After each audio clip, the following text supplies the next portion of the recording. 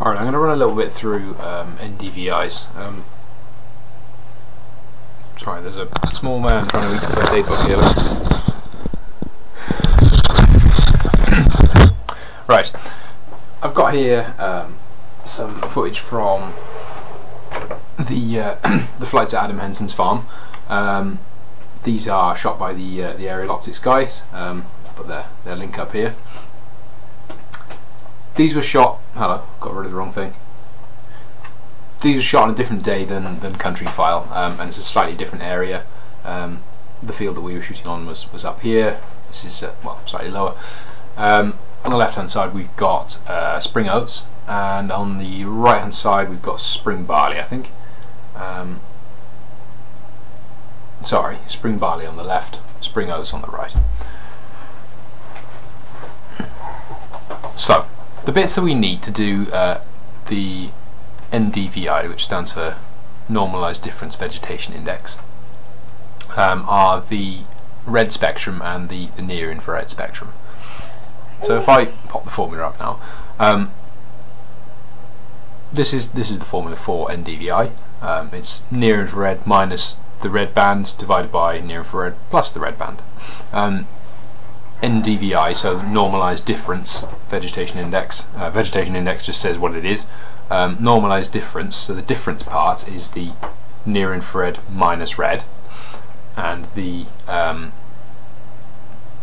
the normalization part is the fact that it's divided by that plus red. So, in theory, um, you wouldn't have to calibrate your your sensors so much because um, you're normalizing it against the data. So as long as the ratio between the red and the near infrared stays the same, it shouldn't make a difference, uh, in theory.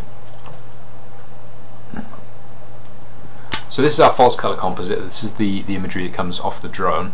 Um, this has been to provided to me by uh, by the guys at Aerial Optics. Um, so I'm assuming it's it's all uh, corrected. Those are some interesting little patches here, which I'm I'm not sure whether they're changes in vegetation cover or cloud shadow. Um, if they're cloud shadow, that would potentially um, do some interesting things with the results. So from this, we need the two bands. We need the red band and the near infrared band. Um, they've sent these to me separately. Um, the red band looks like this. So this is just the information uh, in in the red spectrum. So only things that are coloured towards the red end.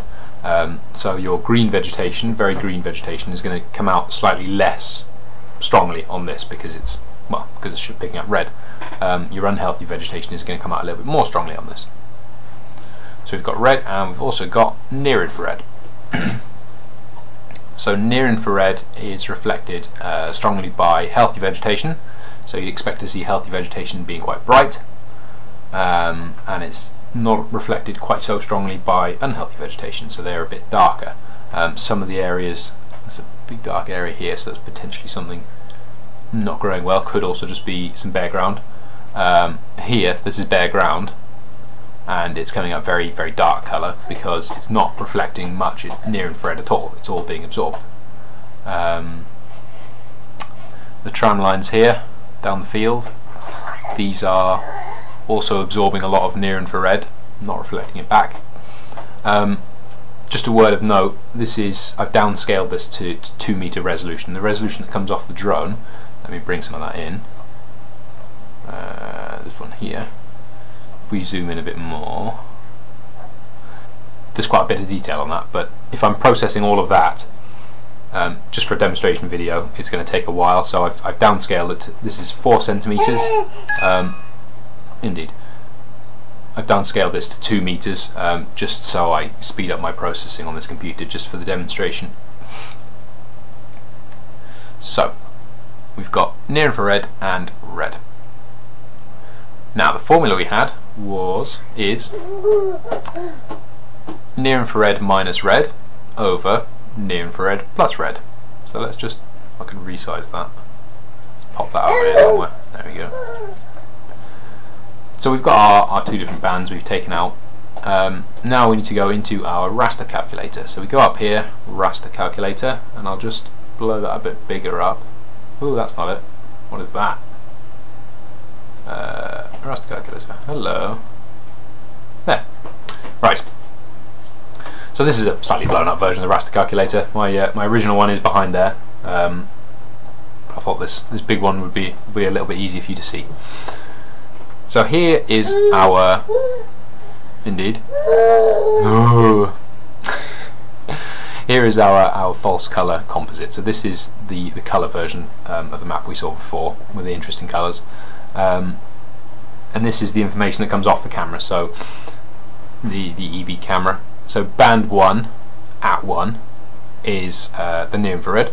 Band 2, which says at 2, is red. Band 3 is um, green. Now I've taken out band 1 and 2 separately. Uh, here they are here. So those are the ones I just showed you before. Um, near infrared, 2 meters, and red, 2 meters. So we've got our, our NDVI formula, which is near infrared minus red divided by near infrared plus red. Hello, someone's trying to climb up my leg.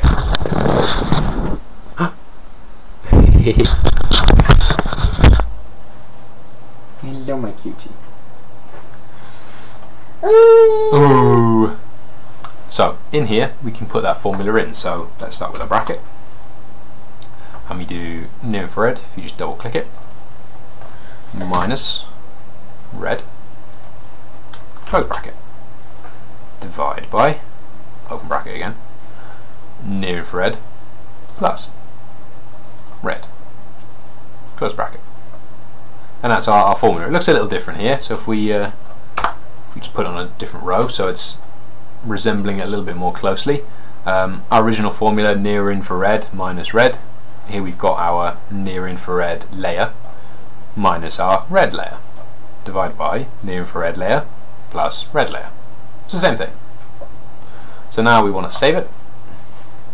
Uh, documents, download even, uh, NDVI. OK. And there is our, our layer that's come down. Ooh, and it's weirdly blown up. There we go. There's our layer that's come down off the uh, out of the raster calculator. So we can style this. Um, ignore the maximum minimum values because these are within one standard deviation. So if we just do a, a pseudo color, um, I've got a, an NDVI style which you can get uh, if you go new color ramp and then choose it from the cpt-city thing there. And there's should be. No, no. Uh, there should be. One of these should be um, the NDVI one. I'm not quite sure where it is. Ah there it is. Under QGIS so I'm going to use that one. Um, our minimum wants to be from 0 to 1 that's the usual scale. Uh, anything below 0 it'll uh, chuck in with, with the 0 lot. Right.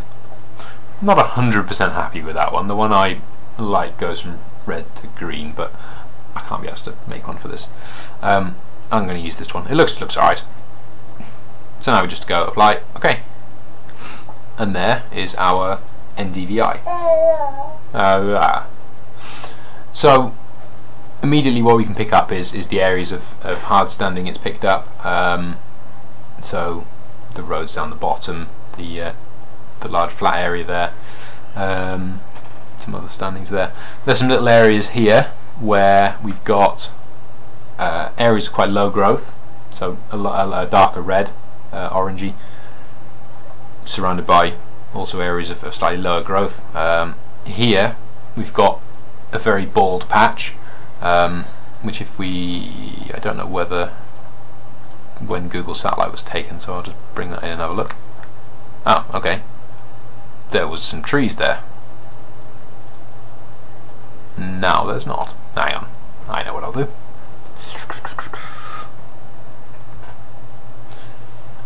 Okay, so that now looks like um, these colours are very odd. Let me change the order of this. Better. So what I told you before, when I said band 1 was near infrared, band 2 was red, band 3 was green, not quite right, okay? Band 2 is uh, red, that's right. band 3 is near infrared and band 1 is green. Big correction. But the, the red and near infrared layers that I had here are, are correct. Ah, so this area here on our Google satellite, which I don't know when it's from, um, shows a little island with some trees in, which has obviously been removed. Um, but for whatever reason, um, the vegetation isn't growing there. So that's getting picked up quite clearly on the NDVI. I mean, you can pick that up with your naked eye. Um, but areas like this here, it's also a little bit bald. Uh, let's have a look here. Can't really tell here so much.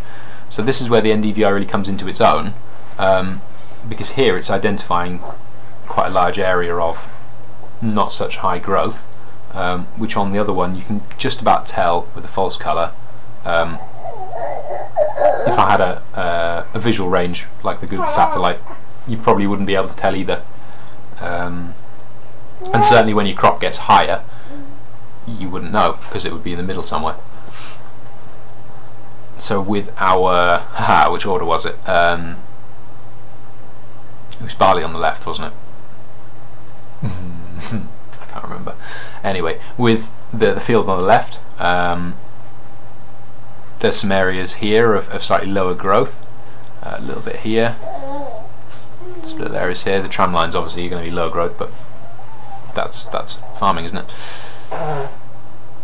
Uh, not so obvious on the uh, on the false color composite, but really it picks it out quite nicely with the um, with the NDVI.